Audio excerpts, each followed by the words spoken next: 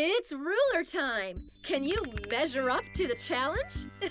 I know you can! Use the ruler to find the length of each unknown part.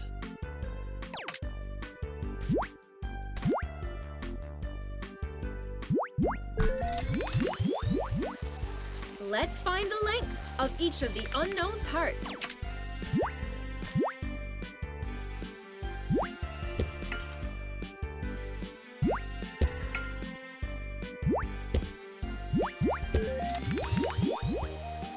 Let's find the length of each of the unknown parts.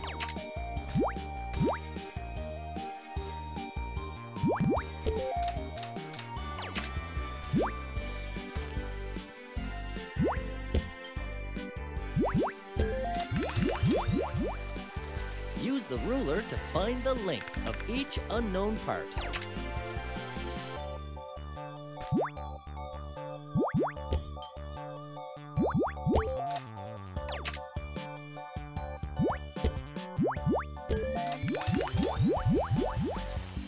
Use the ruler to find the length of each unknown part.